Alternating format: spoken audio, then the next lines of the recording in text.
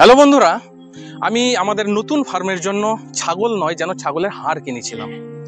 আজ থেকে ঠিক পনেরো দিন আগে, পনেরোই জুলাই, আমি চার পিস বারবারই ছাগল নেই।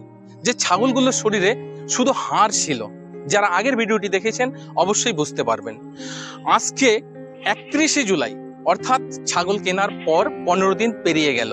তো এই পনেরো দিনের মধ্যে যে চার পিস ছাগল নিয়েছিলাম সেই ছাগলগুলো আদৌ বেঁচে আছে কিনা তারা এখন কি কন্ডিশনে আছে? তারা পরিবর্তন হয়েছে কিনা? তো বন্ধুরা, আজকের এই ভিডিওটির মধ্যে আমি বিস্তারিতভাবে আপনাদের দেখাবো এবং সেই ছাগলগুলির ভিডিও দেখাবো। তো চলুন, দেরি না করে শুরু করে দেওয়া যাক ভিডিওটি। ডাকুয়াগোট ফার্ম ইউটিউব চ্যানেলে সমস্ত দর্শকদের জানাই স্বাগতম। বেকারত্ব দূরীকরণে আধুনিক কৃষি ও পশুপালন। আলোচ্য বিষয়, পশুদের বিভিন্ন রকম রোগ, চিকিৎসা ও মেডিসিন হোমিওপ্যাথিক আয়ুর্বেদিক এবং allopathic Dakua goat farm YouTube channel থেকে আমি কৃষ্ণ ডাকুয়া, আপনাদের সকলকে আমার নমস্কার ও ভালোবাসা জানিয়ে শুরু করে দিচ্ছি আজকের এই ভিডিওটি। তো আজ থেকে ঠিক পনেরো দিন আগে দিনটা ছিল পনেরোই জুলাই। আমি চার পিস বারবারই ছাগল নেই। তো সেই ছাগলগুলো নেওয়ার উদ্দেশ্য ছিল এক খামারি এক বছর আগে উনি দু লাখ ষাট হাজার টাকায় বারবারই ছাগল নিয়ে আসেন। তাদের মধ্যে শুধু পাঁচ পিস বেঁচে থাকে। তো সেই পাঁচ পিসের মধ্যে একটা ছিল মেল আর চারটা ফিমেল যে ফিমেল চারটার এমন করুণ অবস্থা, যেটা হয়তো এমনও লোক রয়েছে যাদেরকে ফ্রিতে দিলেও সে নেবে না। সে উঠতেই পারতো না। একবার যদি শুয়ে পড়ে, উঠতে পারতো না। তো সেই ফিমেল কটার জন্য, নেওয়ার জন্য আমাকে রিকোয়েস্ট করে এবং আমি গিয়ে সেই ছাগল কটা দেখি। দেখার পরে যদিও বা আমার নেওয়ার ইচ্ছা ছিল না, তবুও ভাবলাম, নতুন ফার্মের জন্য এই চার পিস ছাগল নেই। তাদের উপর একটা এক্সপেরিমেন্ট করি। যেহেতু আমাদের একটা ফিড আছে, সেই ফিডের এক্সপেরিমেন্টের জন্য এবং তাদেরকে পরিবর্তন করা যাবে কি না তার জন্য আমি সেই চার পিস বারবারি ছাগল আমি কালেকশন করি।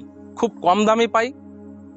তো সেই ছাগলগুলোকে আনার পর আমরা তার উপর ট্রিটমেন্ট করি এবং ঠিকঠাক খাবার দেই, সঠিক পরিচর্যা করি। করার পরে পনেরো দিনের মধ্যে সেই ছাগলগুলোকে অনেকটাই পরিবর্তন কর মানে করতে পেরেছি আমরা। তো দেখুন, তাদের মধ্যে এই এর, এদের ওপর কি প্রয়োগ করা হলো যে এত পনেরো দিনের মধ্যে এরা এতটা ডেভেলপ করেছে।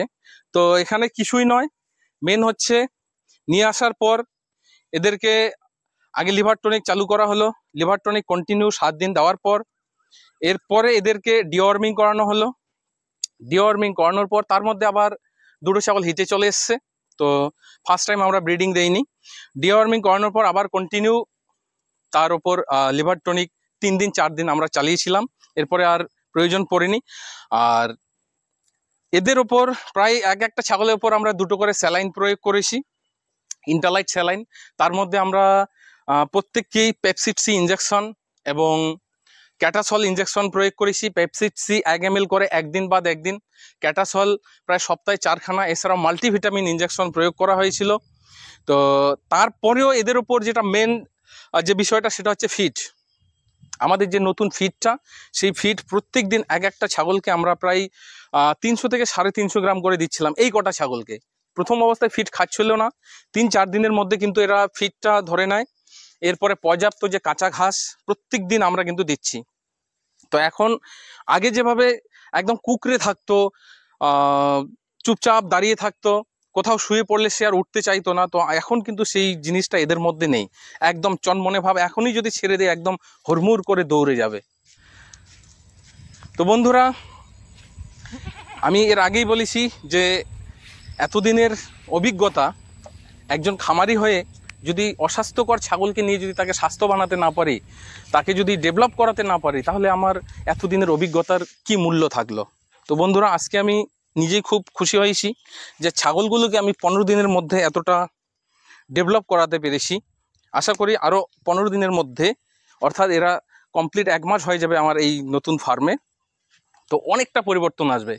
তো এর আগে যেমন বলেছি, পনেরো দিনের মধ্যে এর আপডেট দেবো কেমন হচ্ছে না হচ্ছে।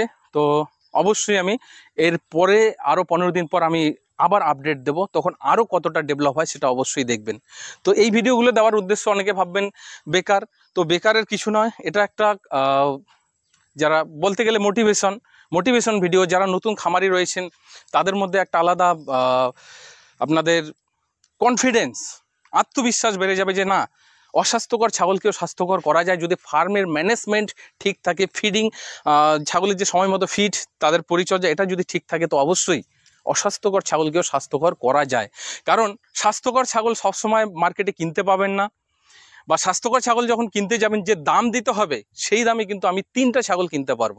তো এই জন্যই কোয়ালিটি আগে চিনতে হবে যে কোয়ালিটিটা ঠিক আছে কিনা। অস্বাস্থ্যকর হোক, কোনো সমস্যা নেই। তো যেমন এগুলোর কোয়ালিটিটা আমি ভালো দেখি যে অস্বাস্থ্যকর ছিল, সেটা আমি মানছি, কিন্তু এদের কোয়ালিটি ভালো।